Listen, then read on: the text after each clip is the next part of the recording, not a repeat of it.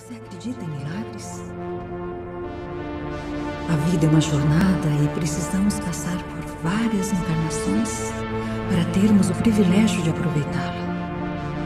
No fim de nossa curta vida, acabamos perdendo tudo.